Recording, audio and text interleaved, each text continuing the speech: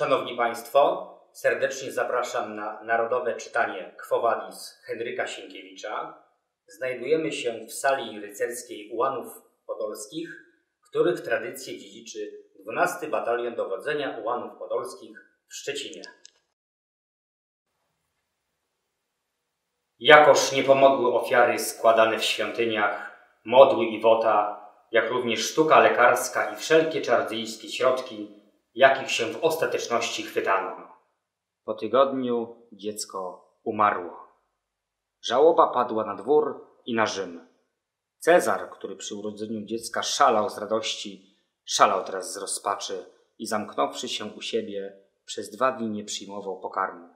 A jakkolwiek pałac roił się tłumami senatorów i augustianów, którzy spieszyli z oznakami żalu i współczucia, nie chciał nikogo widzieć. Senat zebrał się na nadzwyczajne posiedzenie, na którym zmarłe dziecko ogłoszone zostało boginią. Uchwalono wznieść jej świątynię i ustanowić osobnego przy niej kapłana. Składano też w innych nowe na cześć zmarłej ofiary. Odlewano jej posągi z drogocennych metali, a pogrzeb był jedną niezmierną uroczystością, na której lud podziwiał niepomiarkowane oznaki żalu, jakie dawał Cezar. Płakał z nim razem, wyciągał ręce po podarki i nade wszystko bawił się niezwykłym widowiskiem.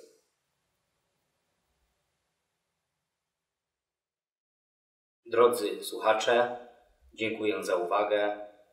Fragment powieści Kwowadis Henryka Sienkiewicza nadawał kapral Maciej Dzieciniak z kompanii węzłów bazowych 12 Batalionu Dowodzenia Ułanów Podolskich.